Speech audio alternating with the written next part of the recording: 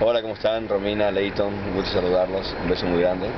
Un amigo de siempre, Console. Cuídense mucho. Mm. Ay, eres un amor. Adiós. Cuídate mucho, sea argentina.